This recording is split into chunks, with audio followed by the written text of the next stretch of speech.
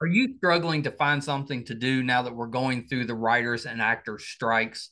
Too Opinionated has you covered. 625 and counting episodes of the best actors, musicians, writers, and everybody involved in the entertainment universe. Go to Meisterkhan Pod on YouTube and subscribe, and you'll never miss an episode. Thank you guys for your support. Until next time, bye, everybody. Hi, everybody. Welcome to another edition of Too Opinionated. Really excited today. I've got filmmaker, writer Frances-Anne Solomon with me. So, welcome, Frances. Hi, I'm glad to be here. Thanks for having me. Yeah, I'm so excited to uh, to speak with you. I, I love some of the work that uh, that you've done, and you've been doing this for a little while. I have, yes. I know it doesn't seem like because uh, we're of similar ages, and it doesn't seem like it's been that long. But like the '90s were 30 years ago. No, we don't have to continually talk about that. you know, I'm a I'm a I'm a grandparent now, so I'm reminded daily yeah. of my age. but it's not a bad thing. Not a bad. No, no, of course not. I think especially now age is a number you know it's That's just right. a number. We're living longer having you know healthier lives and yep. i certainly don't feel like i'm slowing down anytime soon. You know I, I would like to say that but i feel like i've slowed down a little bit but i'm actively fighting against it. So we're going to go as long as we can. Yeah. well i mean you should just do whatever you want to do. You know that's the that's the benefit of being our age i think is that you actually get to choose to do exactly what that's you want right. to do. Yeah, that's the nice thing about kind of becoming an adult. Yeah. You get to choose where you want to put your energy. Exactly. Exactly. That's pretty nice. So so Frances, let's start this way. You know, tell me because I think you've got kind of a, a, really interesting backstory. Tell me a little bit about what got you into the entertainment business. You know, why'd you want to go into that? Uh well, it was a long time ago, but um, I grew up in Trinidad and Tobago in the Caribbean. And um, I think I was always a creative person.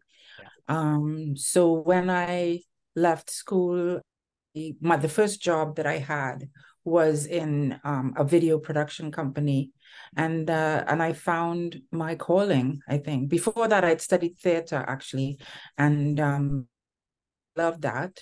Um, but when I began to edit films, edit videos, I was like, wow, this is what I want to do. This is, you know, be in a dark room and just make dreams out of images. Um, I just loved it. I could stay there all the time. So that's that's what I ended up kind of just pouring my myself into. Yeah. Yeah, I'm assuming that over the course of your career it has changed how what you're doing in that in that dark room just because the technology has advanced to the you point. Know, it hasn't changed. It hasn't really changed. hasn't. Okay. Um, it hasn't changed um, in terms of what what we do yet. Um, what has changed, as you say, is the technology. When I started, um, when I st- went to film school, we were cutting film with a razor blade, right, and sticking it back together, and we we were using cameras that were massive like this, and and that you and that you, you you know that had actual film in them which sounds archaic now. Yeah. Um so you've seen that move from that to video to to now digital media and um but the process of storytelling is identical. At the end of the day you have a you want to tell a story and it's it hasn't that process I don't think has changed since the beginning of filmmaking. And I would even say it hasn't changed since, you know, people um, sat at the knees of their grandparents and got told stories about what it was like um, back in the day. That, you know, we as a people love to hear stories um and we and we'll we'll do it in any way we can and that process you know what is a story what is the process of uh, what is an audience you know those things haven't changed yeah at all yeah. that completely makes uh makes sense when you were when you were doing theater did you have you know a uh, ambition to to be an actress, or did you already know that you'd probably be working you know behind the scenes or behind the camera? Well, I um, I, I, I, I found my calling when I applied to do the um directors program. Yeah. So, and we had to direct a number of of plays um as part of that. And um, the first day that I walked into an empty theater um, as the director, I knew that that was what I wanted to do. Yeah. Yeah, I love that. There's nothing better than finding what you're actually meant to do. That's the best. Yeah, not uh, not too not too bad. So so you've got your own kind of uh, uh company um Caribbean Tales, right? Is the is the name of the the company. So what's the you know are is the is is that what you're focusing on? Is kind of telling those um stories, you know, around the Caribbean, or is it um that's the company name because that's your background, but you produce and direct, you know, all kinds of different things? Uh, my I started my career at the BBC in England. Yeah. Um, where I worked, where I was trained, and then worked my way up to being a, a drama producer at the BBC. Um, and then I I felt that as a woman, uh, as a woman of color, a black woman, I wanted what was missing from the work that I was doing was our stories. You know, stories from my point of view, yeah. stories from the point of view of people who came from the, where I came from. I didn't see the world that I grew up in reflected in the kinds of things that were being commissioned, and I really wanted to commit myself to that work. Um, so that's when I started um, my own company and um, and I called it Caribbean Tales initially, um, almost haphazardly because I wanted it to tell all kinds of and in its diaspora. Um, but um, it's not the most imaginative name in the world, but it was useful at that time and it stuck. Yeah. Well, yeah, that happens a lot. You know, once you kind of choose that name, it takes on a life of its own. That's probably going to be the name you know? Exactly, exactly. and that was 22 years ago so. Yeah that's pretty great. That's pretty great. So i know i know you'd moved to to canada. Was it a big deal getting the new movie back onto the bbc uh, um, well hero we i made hero over 10 years as a as an independent film. Oh wow that, yeah so it took a while. It took a while it absolutely did that's what happens when you work outside the system as an independent and you have to raise every penny on your own through your own company and so on. And it was a complicated story to tell because we shot it in Trinidad. It was about a, a man called Ulric Cross. Yeah. So we filmed his childhood in Trinidad. He served in the Second World War in England. So we filmed in England. And then he was um, invited to come to Ghana in Africa um, to serve there. And he actually worked in Ghana, Tanzania, and Congo. And so we went to Ghana and shot there also. And then all the post production I did in Canada. So all of that took a, a lot of organization and work and time and all that kind of stuff. And um, yeah, we um, we we we launched it in 2019 um, in England at the BFI. And then um, this year, then COVID kind of, we had a lot of success showing it in, in different festivals and so on. And it was bought by Showtime in the US. Um, but um, the, then COVID kind of took over and blew blew cinema cinema screenings out of the water. Um, so it was great uh, now this year to that the film has been bought um, and will be seen on the BBC as well as on their online platform, BBC iPlayer. Yeah. Yeah, that's I, I think that's terrific. Is is the film based on a real person? It is, and he was a friend of my family. And oh. um, so, in the early stages of making the film, I actually interviewed him, and there are clips of him in the movie. Oh, I love that interwoven with the the dramatizations about his life.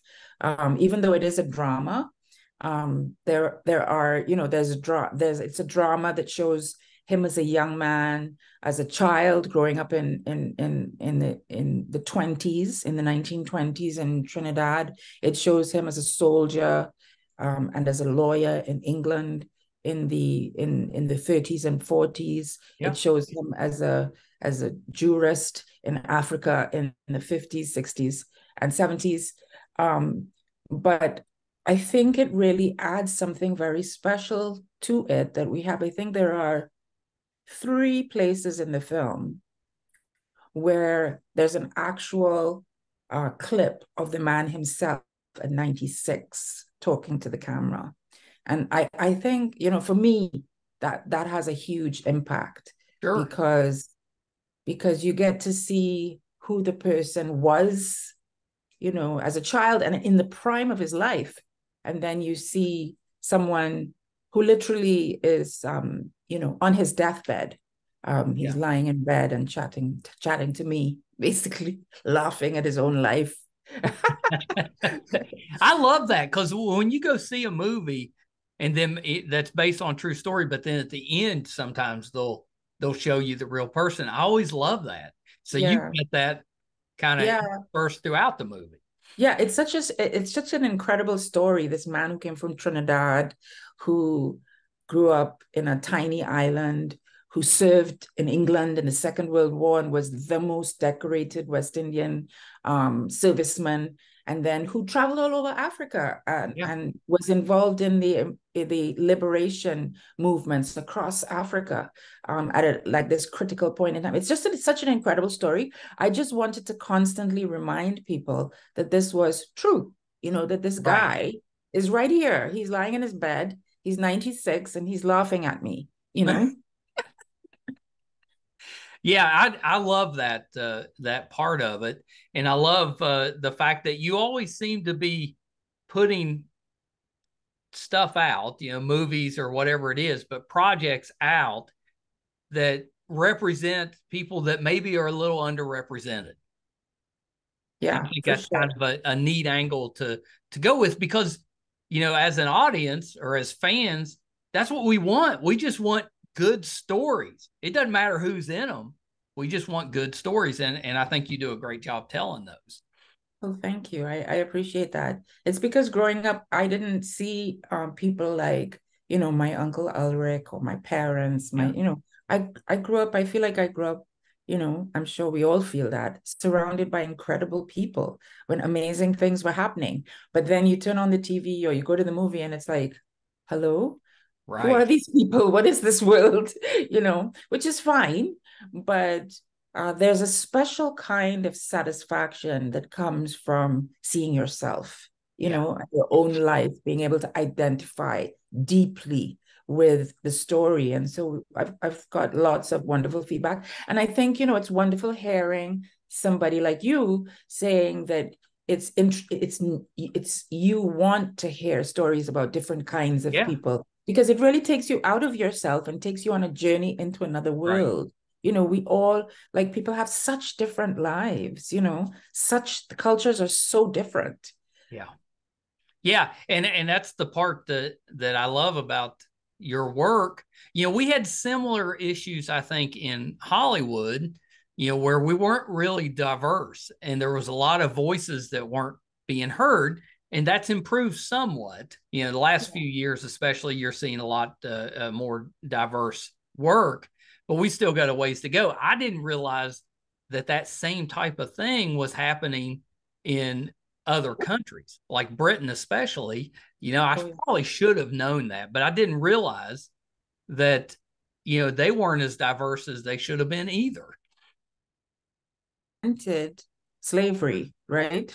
Yeah. Yeah. the Europeans actually invented that. So um, it's not a surprise that that it's the most deep rooted, if you like, that it took a lot to, it's taking a lot to, uh, to unearth that horrible disease.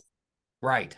Yeah, for sure. For sure. Did you when when you were eh, you know, I know you lived there for a long time, did did you encounter um, professionally you know issues with trying to get these stories made at that time? Did did did you run into resistance? For sure. Yeah, absolutely. I mean, it's um it, it's like there's an absence of certain kinds of stories. There's a lack of interest in certain yeah. kinds of stories. Like even this story about Ulric, which I wanted to tell because my mother is a friend of his, was a friend of his, or was a friend of who Ulric was. He's passed on now. Um, and she really, she really wanted me to make a film as the filmmaker in the family about his incredible life. And the more I talked to him, the more oh, this is incredible. This man has been all over the world doing incredible things. You know, it's really amazing. Um, but trying to sell that story to um, you know, it's like, why would we be interested in that? That's not right. interesting.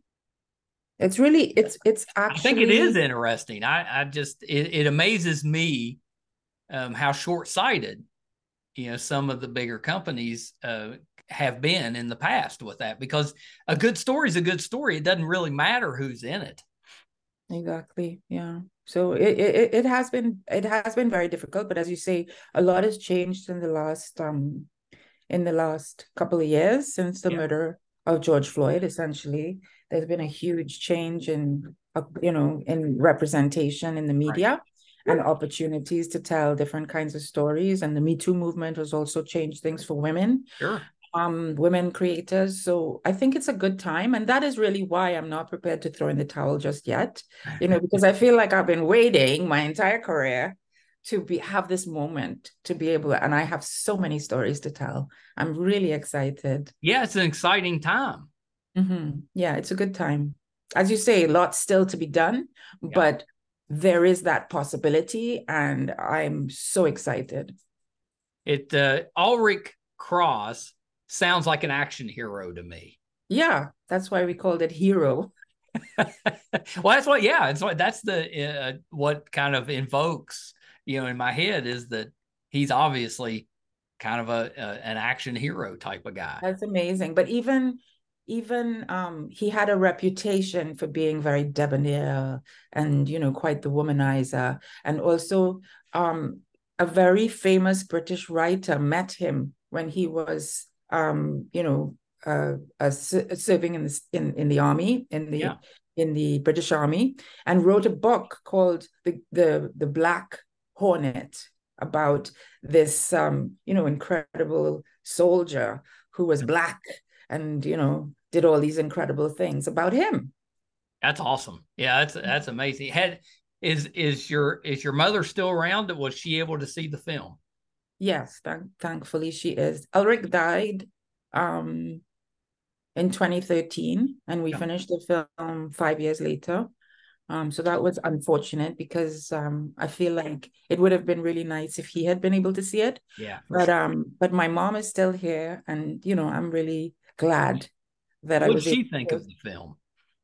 Well, she's she's, you know, she's delighted. She's really really pleased and happy um, because she she's the person who who wanted to make the film. She she raised some of the money herself, and you know she took on the role of producer on behalf of a friend. You know, and uh, she wanted to get it made. So it's like it's like just honoring the legacy of my mother and my extended family. You know, and saying your your lives have been not been forgotten. Your lives have been the lives on which we have built our wonderful lives you know so um it's it's a beautiful it's a beautiful way it's it's what i was saying before that the tradition of storytelling is about began with elders telling children stories about their lives so that they could know who they were and so that they could um, you know, take the wisdom of the past forward into their own lives and build more. And so it's really important that we be able to do that. And as you the the way that the media um, has excluded certain kinds of voices has prevented that natural those natural traditions from happening and right. and so you know i feel it's really important for us to pass on those stories and honor those who went before. Yeah, for sure. For sure. Did you get to do like a red carpet event for the movie? Yeah, yeah. We had one, we had a number of red carpet events. Um, one in Toronto, one in um, the the UK, which was wonderful because Ulric spent a lot of time in England. Yeah. Um, so at the British Film Institute, and we also had one in the US in Los Angeles at the Pan African Film Festival. Oh, nice. That festival in 2020. Yeah, it was wonderful. You had done a film that I, I thought was um, interesting because it it de- I can't remember the name. You'll have to help me with that, but it it depicted uh, like um, Chinese immigrants in Britain at a laundromat. And I'd never seen that before. You know, we we have a lot of films and TV shows that kind of um, deal with uh, the Chinese immigrants here in the states, but I'd never seen that in the UK. What was the name of that film? Yeah, um, that that film was called Peggy Su. Peggy Su. Peggy, That's right. That's right. Yeah, with an exclamation mark, and it was great because yes, um, just you know the the kind of patterns of immigration from what were formerly the colonies right. to um, the West, Europe and America are very similar. So you know, you take a film like Everything, Everywhere, All at Once, that right. brand new film that came out by the Daniels, which features an Asian family um, who run a laundromat, right? right? yeah, because this was one of the traditional things that um, those immigrants um, did in order when they first came to the West, right? They yeah. ran laundromats, they had restaurants, you know, those kinds of things. And again, honoring those, like just recognizing those patterns of immigration and honoring though that movement of people um, is, I feel, so important to say, you know, that restaurant around the corner, that laundromat where you know you just take your dirty clothes basically and leave them there and then collect. That's a whole family. That's a people coming um here to make better lives those are heroes who yes. are building a future for their children. You know it's really important to tell those stories. Yeah i, I completely agree. What where did that idea come from did you know a family that ran a laundromat or was you know where did that idea come from I was um, working as a producer at the BBC, and one of the writers that I was working with was Chinese himself, yeah, Kevin Wong, and it was his family story, right? So oh, he okay. wrote it about his own family. Um, what was beautiful was that when we, um, so he wrote it about, you know, it was a comedy, but it was inspired by his own family's story, and um, about class and struggle, but it was a comedy. And then and then when we went to shoot it, we traveled up to Liverpool, which is where he was from in the north of England. And we actually found an old 19, 1960s laundry, Chinese laundry. Oh, that's awesome. Yeah, where a young where where there was a guy living there and we were able to use that laundry and shoot inside of it. Oh, that's great. Yeah. yeah. i love that that you concentrate on those type of stories which is what i was mentioning early earlier. I think it's it's really commendable that you're you're making stories that might not have gotten made otherwise. Thank you. I really appreciate that. That's very, very yeah of course. Of course. Well Frances, i know we gotta we gotta wrap up but is there is there anything else that you're working on that we can kind of keep an eye out for outside of hero well, right now um, we've got two projects on the go. Um, one is called In the Black, which is about a man called Denham Jolly who who's who spent 12 years uh, trying to get the first black radio station off the ground in Canada. Oh wow. Yeah. So we're just about to start shooting that. And then I'm also making a, a TV series, a comedy about his youth when he first came to Canada in the 50s and he was living in this rooming house owned by this um, this incredible woman called Violet Williams, who was a liberation leader and a social um, you know organizer, and yeah. she got people jobs, and you know she was like the social services and a Renaissance woman all in one. Um, so well, yeah, that actually like in my head, I can see some some places where comedy could come into that. Yes. yeah, because of all these people staying in the rooming house, right. all the different things that would go on. Yeah, absolutely. Yeah, that's exciting. How uh, how far along are you? Is that something that we'll see this year, next year? Well, we've shot the the um the TV series, so we're we're oh. editing it now. So that'll definitely come out later this year. And then In the Black is shooting. Um, we're going to be start shooting next month, and then we'll be shooting until January. So that should come out at the end of next year. That's that's exciting. That's exciting. Do you prefer to produce or direct? I prefer to direct. Yeah. Um, yeah, but I don't think I would be able to direct if I wasn't a producer. Yeah, that I think, makes sense to me. Yeah. Mm-hmm. I, I think that that has I, I I think what I like to do is direct the shows that I my shows. Yeah. Mm-hmm.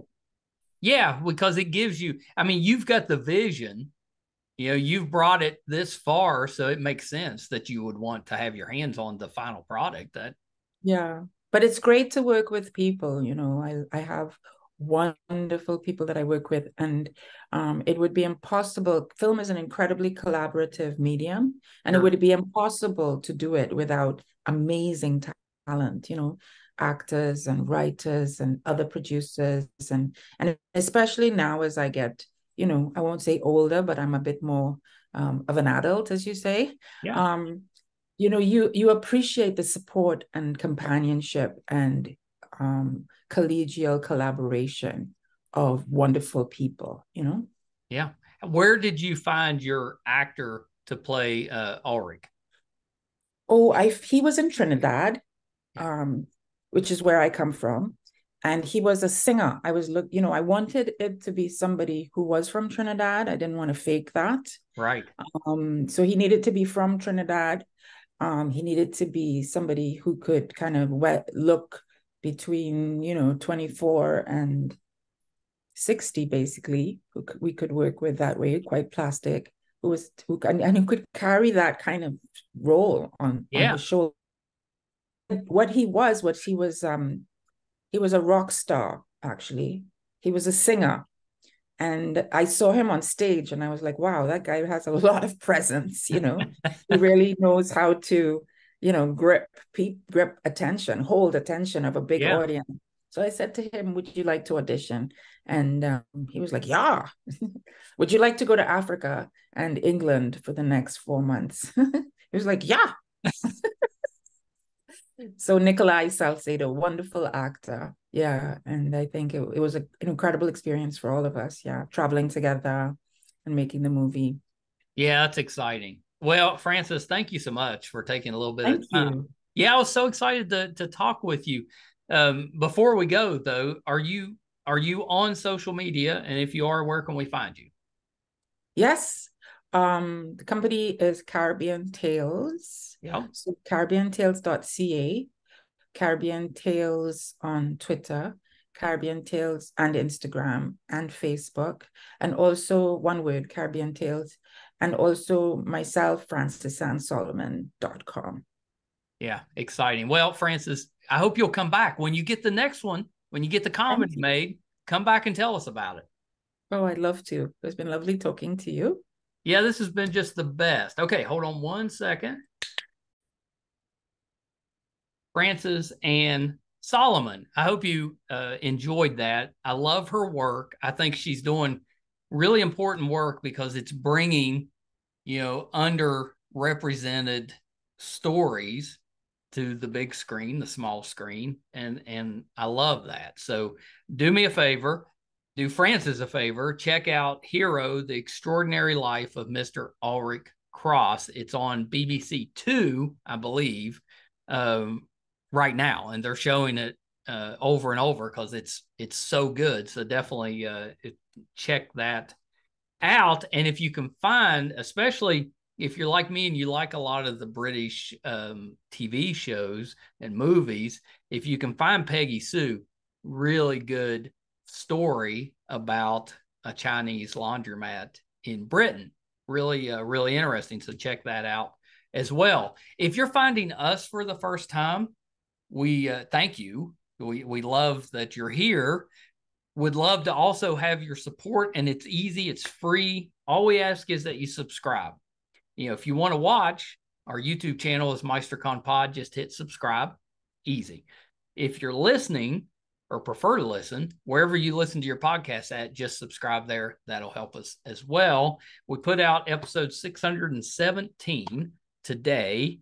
Um, you can find all of those audio and video on our website, meisterkhan.com. So definitely check us out there as well.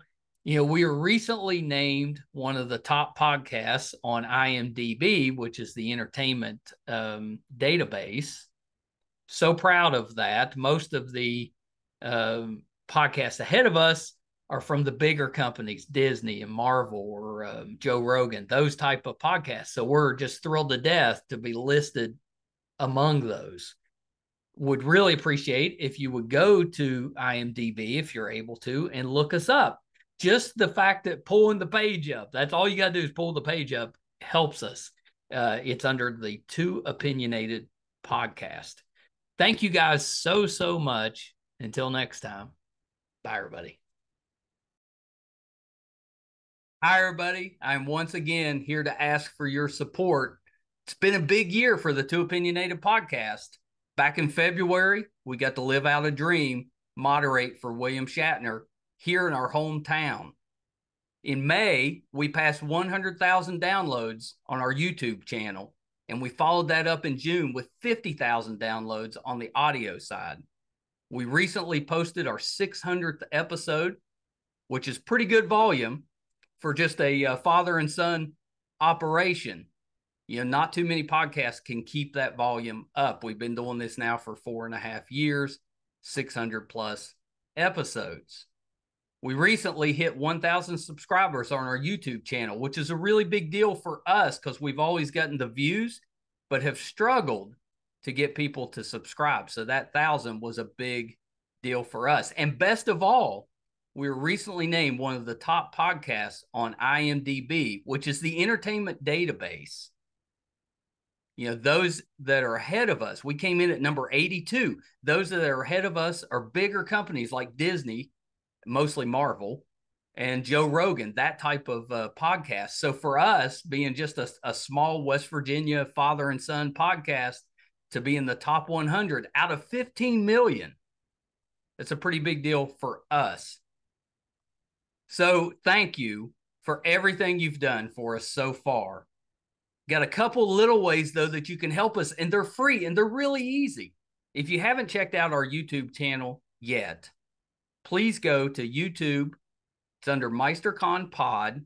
Just hit subscribe. It's free, doesn't cost you anything, really helps us a ton. And maybe even more important, if you could go to IMDb, imdb.com, look up the Too Opinionated podcast, and just look around the page just having that traffic on the page really helps us out. So that's a couple easy ways that you can support us, even if you're not listening or watching all of the time.